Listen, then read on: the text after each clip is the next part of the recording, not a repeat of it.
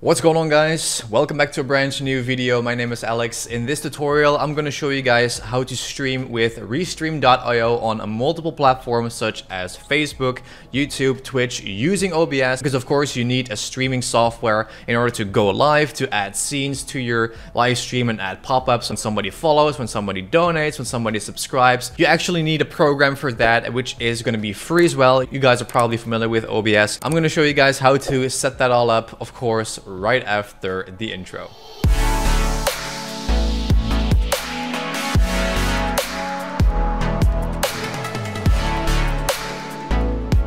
Alright guys, so as you can see right now, we are on restream.io forward slash channel, actually your dashboard. Last video I showed you guys how to, of course, connect your Facebook, your YouTube, and your Twitch channel to your Restream channel. But I also showed you guys how to stream on these websites at the same time, of course, when you go live, just using your webcam. But in this video, I'm going to show you guys exactly how to use an external software such as OBS. Alright guys, so on the right we have streaming software, RTMP, use advanced software like OBS, Zoom, etc. So we're going to click on on the RTMP settings. Okay, so right here, we basically have the stream key, and this is very, very important that you don't share this with anybody else, because if somebody is going to just boot up OBS, they're to fill in this stream key in their path for going live. They can go live on your channel without you even knowing it, because they just got a hold of that key. At all costs, avoid people getting into your account or, you know, sending a screenshot from your stream key. Of course, right now it is dotted or blacked out, but of course, if you want to copy this one into OBS, the program itself. Outside of Restream, you want to make sure you just want to click on that. And then it's going to prompt you stream key copy to clipboard. And then what we're going to do is we're going to go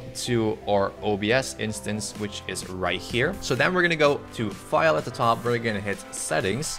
And then where it says stream right here, we're going to pick our uh, service. But in 90% of the cases, you would also just pick, for example, Facebook Live, YouTube, or Twitch. But if you're going to click on these, you're going to only go live on that specific platform. So right here, you want it's very important that you click on So then it will also give you the option to connect your account. I would actually recommend that. But for the purpose of this video, I'm just going to use the stream key. So then I'm going to delete this one right here. And then I'm going to paste that in and I'm going to hit apply and I'm going to hit OK. So now, of course, if we're going to hit, for example, start recording right here at the bottom right corner, we're going to go live on all the channels and that's basically how simple it is. All right, guys. So now that we've filled everything in into OBS, it is actually a matter of getting the layouts right because in the last video, I showed you guys how to go live with just your webcam. And if I'm to be honest with you, you're kind of limited if you're to use only your camera because you can also use your full screen camera in OBS instead of the regular option in Restream. But what's really cool is that Restream actually provide you a lot of things if you go to the live studio on the website and you will hit on graphics on the right. It's very nice that you can also add in your logo. You can just upload a PNG version of that. You also have like multiple overlays. We will also have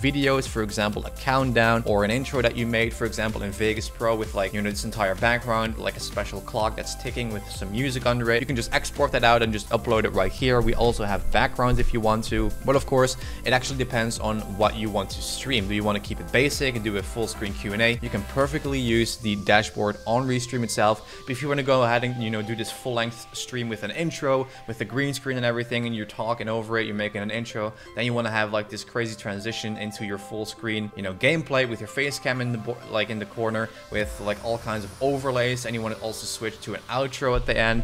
Then I would also recommend just use the OBS function or the program itself. And of course, how to do that, how to set up the, you know, the, the all the layouts and all that. We're going to save that for a next video. But this is basically how you link your OBS to the Restream channel. And now, of course, if you go to back to the dashboard, you'll see a list of all the channels you will go live to when you hit, for example, start streaming on the very right corner. So that is basically how to set that up and how to stream externally with another program. And of course, in the next video, which is the last one of this mini three-part series, I'm going to show you guys exactly how to create these overlays and, how, and you know all the donations and how to go live. So make sure you stay tuned for that. And that is basically how simple it is. All right, guys. So now you guys know how to set up OBS for streaming with Restream.io on multiple platforms. So if you guys enjoyed this video, make sure to reward it with a like down below and also click on the first link down in the description that will bring you to the website so you can learn more. I want to thank Restream for sponsoring this video and I'll see you guys obviously in the next one.